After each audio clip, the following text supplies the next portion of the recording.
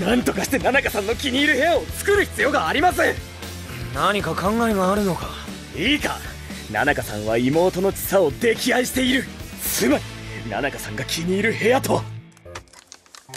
なあこれはさすがに違うと思うぞ。無駄口を叩かないで手を動かして。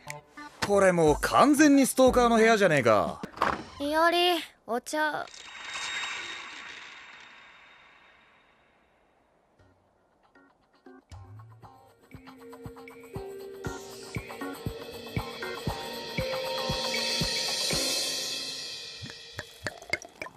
よかったなより。念願の自立した生活ができる部屋じゃないか。こんな結末望んでね